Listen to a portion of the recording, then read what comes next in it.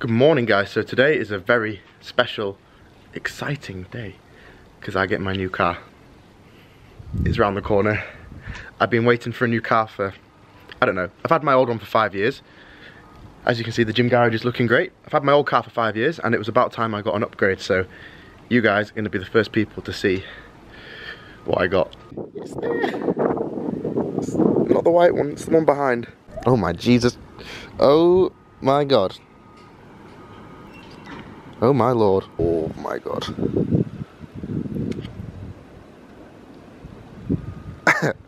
Sweet. okay guys, this is unbelievable. I can't believe I've done this. An amazing car. Look at the size of the screen, guys. I also made it look like we're on Mars as I'm driving. Thought that was a pretty cool little addition. This car is beautiful. I've never had a new car in my life, so this is unbelievable, Jeff. Look at the top, look at the roof. Both sides, glass, both sides. Whew, I can't get over that. That looks insane. So guys, a lot of my close friends will know I've had the same car for about five years now. Um, it's a fantastic car, Kenny the Kia.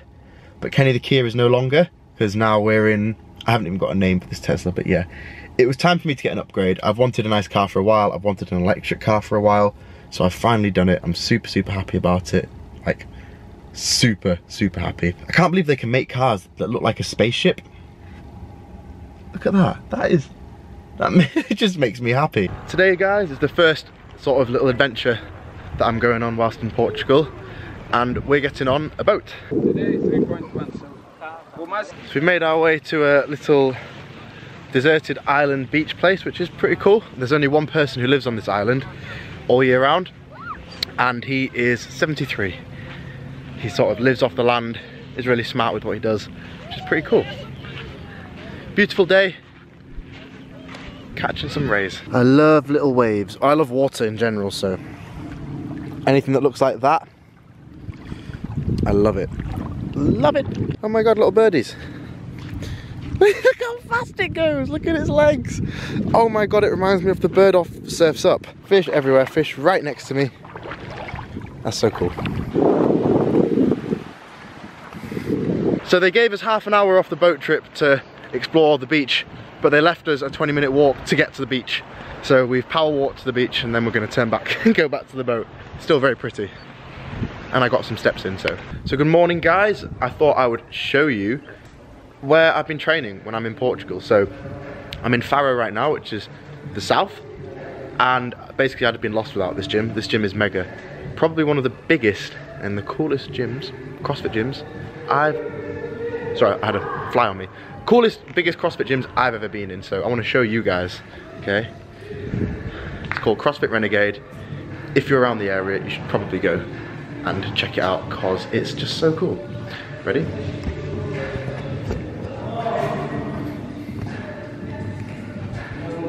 Look at the size of it.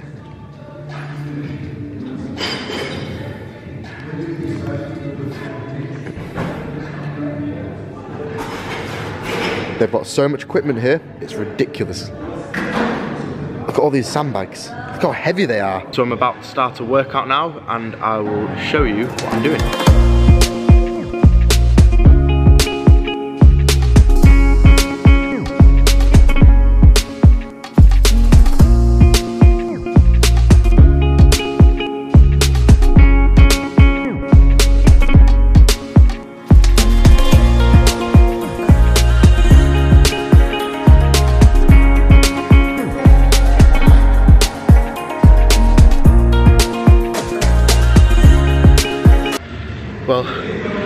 Didn't go to plan. Um, I was meant to do seven unbroken every minute for 10 minutes and I fell off one uh, with two minutes to go.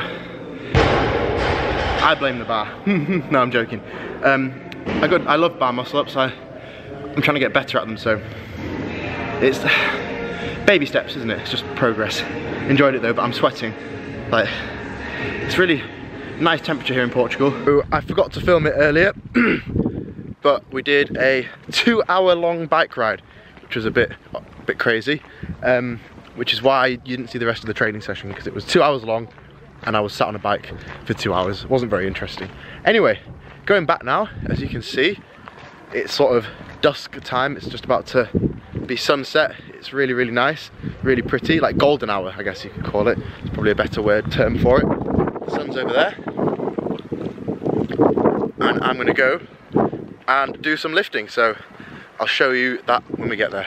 But yeah, I've done two two hour bikes, so really long bike rides, just on a stationary bike in the sun here.